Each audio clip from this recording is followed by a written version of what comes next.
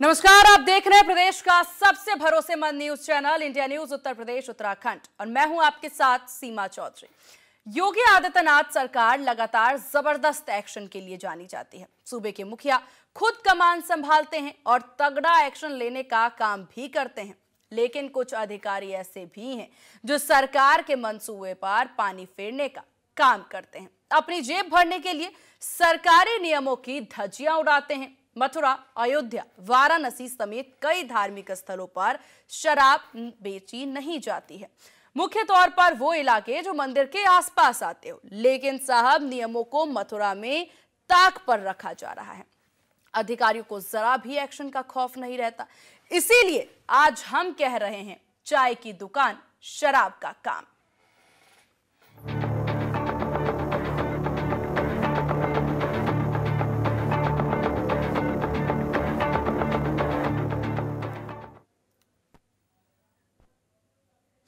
UP सरकार ने भगवान श्री कृष्ण की नगरी मथुरा में आने वाले श्रद्धालु भक्तों की आस्था को देखते हुए गोवर्धन, बरसाना राधा कुंड नंदगांव को तीर्थ स्थल घोषित किया था।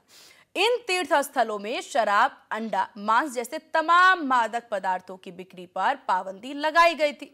लेकिन कुछ अधिकारी सरकार की छवि धूमिल करने का काम करते हैं। चलिए, आपको एक तस्वीर दिखाते हैं, जिसमें एक युवक साफ़ तौर पर शराब लेता हुआ कैमरे में कैद हो गया है। ये तस्वीर आप साफ़ तौर पर देख सकते हैं। कैसे एक युवक शराब हाथ में लेकर के शराब की बोतल निकलता है।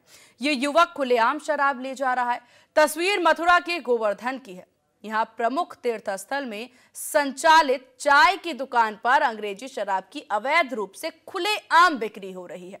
इससे सरकारी टैक्स की चोरी तो हो ही रही है, लेकिन तीर्थ यात्रियों की भावनाओं से खुले तौर पर खिलवाड़ किया जा रहा है। तो शराब की बिक्री का खेल जारी है। इस बीच कई तरह के सवाल भी उठते हैं। सवाल ये कि शराब बिक्री का खेल क्या सिस्टम यहाँ पर फेल है? जिम्मेदारों पर कब एक्शन लिया जाएगा?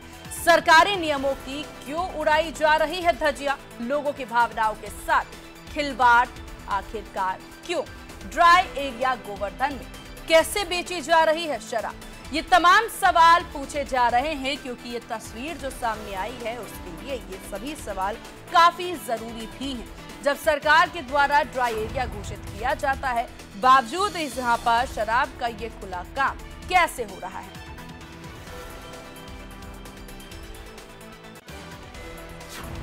बहरहाल, इंडिया न्यूज़ डंके की चोट पर सवाल पूछता था, सवाल पूछता है, सवाल पूछता रहेगा। आज भी इस मुद्दे पर सवाल दागे जाएँगे, लेकिन उससे पहले आपको इंडिया न्यूज़ संवाददाता की ये रिपोर्ट दिखाते हैं। भगवान कृष्ण की नगरी मथुरा को यूपी सरकार ने तीर्थ स्थल घोषित कर रखा तीर्थ स्थल में मथुरा के गोवर्धन, गोकुल, बरसाना, नंदगांव राधा कुंड आदि जो तीर्थ स्थल है, उनको शामिल किया गया है। यूपी के सीएम योगी आदित्यनाथ श्रद्धालु भक्तों की आस्था को देखते हुए लगातार ये निर्देश देते आ रहे हैं कि ड्राई एरिया में जो शराब, मीट, अंडा आदि जो मादक पदार्थ के उनकी बिक्री ना हो। लेकिन मथुरा के गोवर्धन से जो तस्वीरें सामने आई हैं, वो अपने आप में झकझोर देने वाली हैं। श्रद्धालु भक्तों की आस्था से खिलवाड़ कर देने वाली हैं, क्योंकि गोवर्धन में जो शराब का जो ठेका है, वो ड्राई एरिया में खुले हुए हैं। ड्राई एरिया में जो शराब के ठेके हैं, उनके नज़दीक चाय की दुकान हैं। और चाय की दुकानों पर शराब बिकती नज़र आ रही है चूँकि वहाँ श्रद्धालु भक्त बैठ के चाय पीते हैं। और इसी दौरान जो शराब अराजक तत्व के जो लोग हैं, वो वहाँ से शराब खरीदते हैं, कहीं ना कहीं श्रद्धालु भक्तों की आस्था से बड़ा खिलवाड़ यहाँ किया जा रहा है। लेकिन जो जिम्मेदार अधिकारी हैं, उनका अभी तक ऐसे लोगों की तरफ़, यानी शराब माफियाओं की तरफ़ कोई ध्यान नहीं दिया गया, जिससे श्रद्धालु भक्तों की आस्था से खिलवाड़ हो रहा है। Veer Narayan Sharma, India news, Mathura.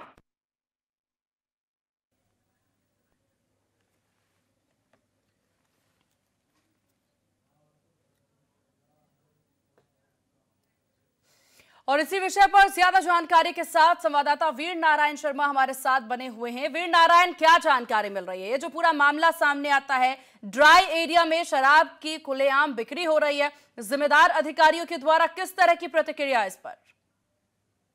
देखिए, बिल्कुल सीमा, भगवान कृष्ण की नगरी मथुरा में देश और दुनिया से श्रद्धालु, भक्त आराध्य प्रभु के दर्शनों के लिए, गिरिराज प्रभु के परिक्रमा के लिए यहाँ पहुँचते हैं। लेकिन जिस तरीके की तस्वीरें भगवान कृष्ण की नगरी से आई हैं, वो कहीं ना कहीं आस्था को ठेस पहुँचा रही हैं। बात करें यूपी के सीएम योगी आदित्यनाथ के द्वारा, मथुरा को ड्राइंग एरिया घोषित किया गया, तीर्थ स्थल घोषित किया गया था। इसके बावजूद भी इस तरीके की तस्वीर सामने आना कहीं ना कहीं सिस्टम पर बड़े सवाल खड़े करती है। क्योंकि इसकी जो ज़िम्मेदारी है, वो आबकारी अधिकारी और डीएम की होती है। यानी कि क्षेत्र में अगर शराब बिकती है तो उसकी ज़िम्मेदारी पुलिस प्रशासन की होती है। तो कहीं भी जो आबकारी विभाग के अधिकारी है वो भी ज़िम्मेदारी से हटते नज़र आए डीएम है डीएम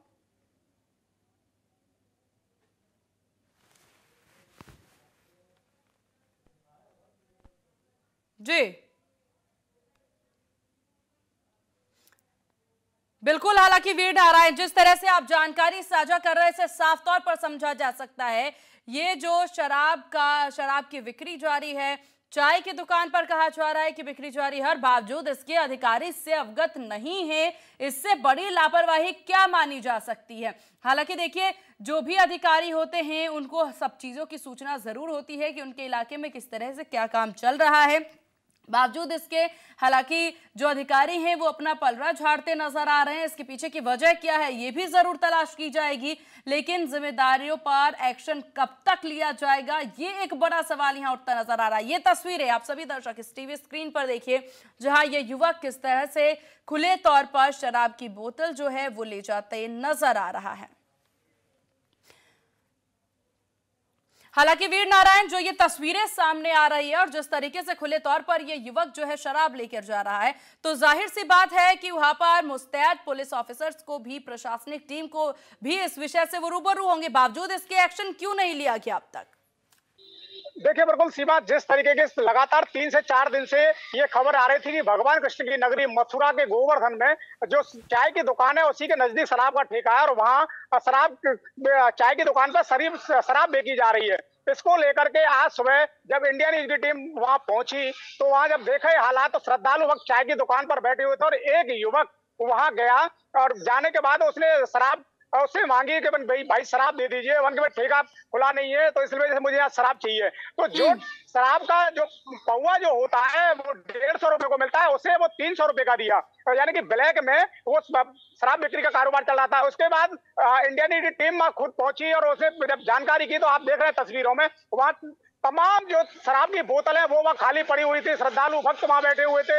उससे जब पूछा गया दुकानदार से भाई ये चाय की दुकान पर आप शराब क्यों बेच रहे हैं? तो वो गड़गड़ाता नज़र आया उसने कहा भैया आज भी बेचा है इसके बाद में मैं अब कभी नहीं बेचूँगा। मैं भाई जब इस बात जो आबकारी अधिकारी है उसको फ़ोन लगाया तो उस, उसकी जानकारी में था उसने कहा हमसे कि भाई इस तरह की शिकायत आ रही थी लेकिन मैं इसको दिखवाता हूँ किसकी दुकान है मैं सब ड्राई एरिया में इस तरीके की दुकान चल रही है तो वो भी इस तरीके से पल्ला झाड़ते हुए नज़र आए। उन्होंने कहा चौकी इंचार्ज को आप सूचना दे दीजिए।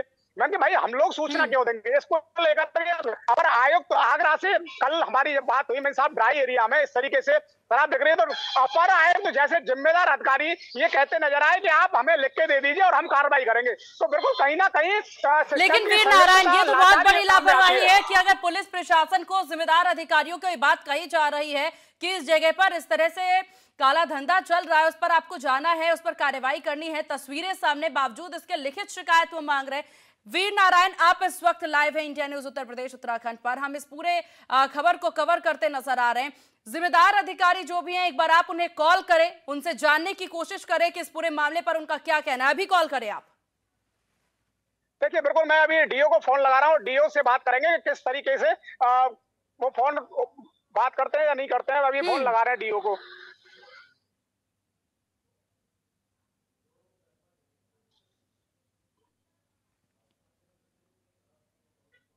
देखिए ये मथुरा जो आबकारी अधिकारियों को हमने फ़ोन लगाया आप देखते हैं किस तरीके से।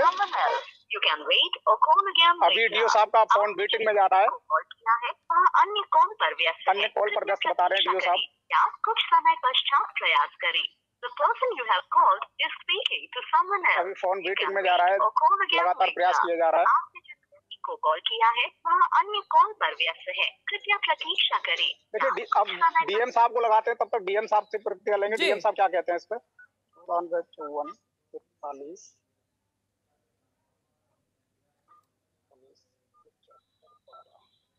देखिए डीएम साहब को फ़ोन लगाया है।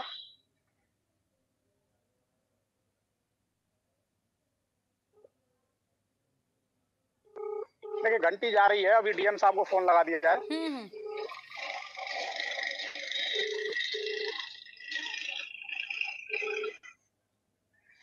हेलो। हेलो। वीर नारायण शर्मा बात कर रहा हूँ इंडिया न्यूज़ से। डीएम साहब से बात कर रही हूँ। वीर नारायण शर्मा बात कर रहा हूँ इंडिया न्यूज़ से। बात करा दीजिए मैं लाइव हूँ चैनल पे लाइव हूँ मुझे बात करनी है। अच्छा। बात करा दीजिए। अभी साहब बात कर रहे हैं हम वेटिंग में है। वेट कर रहे हैं। पीआर साहब ने फ़ोन उठाया है डीएम साहब से नंबर पे बात हो रही है। साहब किसी दूसरे नंबर पर व्यस्त हैं। अभी अभी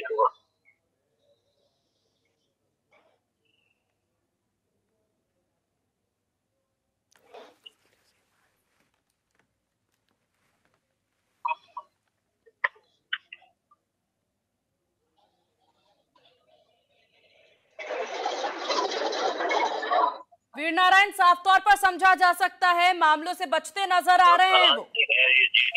बिल्कुल अभी पीआरओ साहब ने फ़ोन डीएम साहब से बात होने के लिए कह रहे हैं कि दूसरे फ़ोन पे अभी व्यस्त हैं अभी बात करते हैं देखते हैं कितना समय लगता है। हम्म। हाँ ठीक ठीक अभी जल्दी में थोड़ा सा बात कर ले वो अभी पीआरओ साहब बता रहे हैं कि अभी डीएम साहब व्यस्त हैं दूसरे फ़ोन पे बात चल रही है तो हम लगातार लाइव हैं। देखिए डीएम साहब का फ़ोन काट दिया है पीआर जो उनके अर्दली है पीआरओ हैं उन्होंने फ़ोन काट दिया है। बिल्कुल तो इसी इसी बात से इसी बात से वीर नारायण समझा जा सकता है कि जिम्मेदार अधिकारी बचते नज़र आ रहे हैं। ये एक बड़ा सवाल है कि आखिरकार क्यों जिम्मेदार अधिकारी इस पूरे मामले से बचते नज़र आ रहे हैं? इंडिया न्यूज़ के सवालों से जिम्मेदार अधिकारी भागते नज़र आ रहे हैं। इंडिया न्यूज़ की टीम का फ़ोन नहीं उठाया गया है। आखिर अपनी ज़िम्मेदारी से क्यों भाग रहे हैं अधिकारी? ये एक बड़ा सवाल यहाँ उठता है। डीएमओ साहब ने इंडिया न्यूज़ का फ़ोन नहीं उठाया। लाइव टेलीविज़न पर हमारे सहयोगी के द्वारा कॉल किया गया और उन्होंने फ़ोन नहीं उठाया। फ़ोन से बचते नज़र आ रहे हैं। कई तरह के बहाने बनाए जा रहे हैं, लेकिन क्या ये बहाने किसी तरह की कोई सफ़ाई मानी जा सकती है इस पूरे मामले की, इस बड़े लापरवाही की? क्योंकि जिस तीर्थस्थली को बनाने का काम यहाँ उत्तर प्रदेश की सरकार करती नज़र आ रही है। योगी सरकार बार बार जहाँ पर ये बात कहती नज़र आ रही है कि मांस मदिरा का पान नहीं किया जाएगा, बिक्री नहीं होगी इन एरियाज़ में।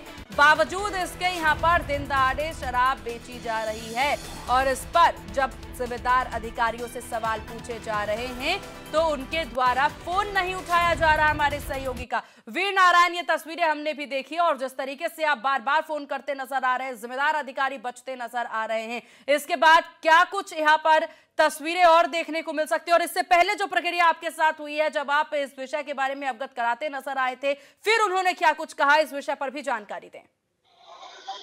देखिए, बिल्कुल मेरी फ़ोन पर सुबह डीओ साहब से बात हुई, जो आबकारी अधिकारी हैं, उनका साफ़ तौर से ये कहना था कि इस तरीके की शिकायतें तो मिल रही हैं, लेकिन आप नजदीकी चौकी इंचार्ज को इसकी सूचना दे दें।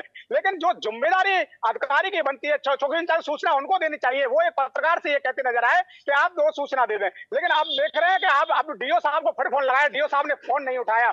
अब डीएम साहब को फ़ोन लगाया, डीएम साहब के अर्दली ने फ़ोन उठाया, और वो ये कहते नज़र आए कि डीएम साहब अभी दूसरे फ़ोन पर व्यस्त है, उसके बाद में बात करेंगे, और फ़ोन उन्होंने काट दिया। तो इस तरीके के जो लापरवाही है कहीं ना कहीं अधिकारियों को सब पता है कि किस एरिया में क्या हो रहा है। उसके बावजूद भी कोई कार्रवाई नज़र नहीं आएगी। अभी दो दिन पहले जो भगवान श्री कृष्ण का जन्म स्थान है और जहाँ भगवान श्री कृष्ण का जन्मोत्सव होने वाला था उसके ठीक दो दिन पहले पौष इलाके में ड्राई एरिया में भारी मात्रा में मीट पकड़ी गई थी। उस पर भी कोई कानूनी शिकंजा उन लोगों पर नहीं कसा गया। उसके बाद अगर बात करें राधा रानी के धाम बरसाना की, बरसाना जो ड्राई एरिया है ड्राई एरिया में राधा रानी के महल से करीब 200 मीटर के एरिया में शराब के ठेके संचालित है, अंडे बिक रहे हैं, मीट वहाँ बिक रही है। गोवर्धन की तस्वीर हम दिखाई चुके हैं जहाँ शराब, चाय की दुकान पर लगातार जो ठेके हैं, गोवर्धन और राधा कुंड में, जो परकम्मा मार्ग जहाँ से लाखों की संख्या में श्रद्धालु, भक्त, प्रतिदिन गिरिराज जी की परकम्मा जी। तो कुल मिलाकर के देखा जा सकता है कि जैसा कि हमारे सहयोगी ने कहा कि जिम्मेदार अधिकारियों को स्थानीय जानकारी होती है, बावजूद इसके अगर वो इस पर एक्शन नहीं ले रहे हैं तो साफ़ तौर पर समझा जा सकता है, ये बड़ी लापरवाही है, या जानबूझ करके अनदेखा जो है इस मामले को किया जा रहा है। वीर नारायण, आपका बहुत शुक्रिया है तमाम जानकारी और तस्वीरें साझा करने के लिए। तो चाय की दुकान पर शराब का यह काम जारी है और उसकी तस्वीरें भी इंडिया न्यूज़, उत्तर प्रदेश, उत्तराखंड की टीवी स्क्रीन पर आप बार बार देख रहे हैं किस प्रकार से ये युवक जो है, वो शराब दिन दहाड़े लेता नज़र आया और उसको लेकर के आगे बढ़ता जा रहा है। किसी तरह का कोई खौफ, किसी तरह का कोई डर, किसी की भी आँखों में इस वक्त नज़र नहीं आ रहा है।